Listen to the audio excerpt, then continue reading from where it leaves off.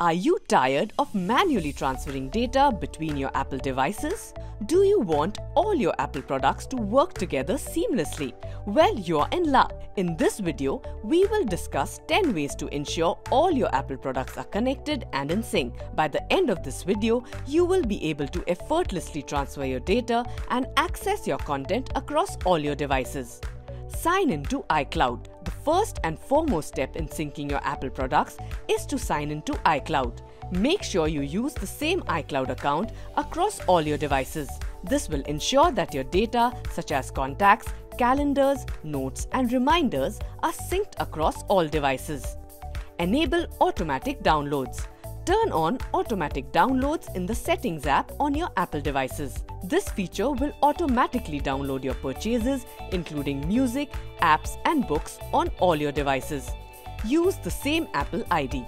Use the same Apple ID across all your Apple devices. Doing so will ensure that you have access to all your purchased content, such as apps, music, and movies, on all devices. Turn on Handoff.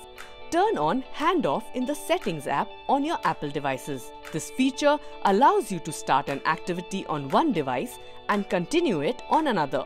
Use iCloud Photo Library. Enable iCloud Photo Library to ensure that all your photos and videos are stored in the cloud and are accessible on all your Apple devices. Enable AirDrop. Turn on AirDrop on all your Apple devices to easily share files between them. Use iCloud Drive. Use iCloud Drive to store and access your documents and files across all your Apple devices. Enable iCloud Keychain. Enable iCloud Keychain to securely store and sync your passwords, credit card information, and other sensitive data across all your Apple devices. Update software. Make sure all your Apple devices are running the latest software to ensure the best compatibility and performance. Use continuity features such as making and receiving phone calls on your Mac and using your iPad as a second display for your Mac to seamlessly integrate your Apple devices. And that's it. These were 10 ways to ensure all your Apple products are connected and in sync.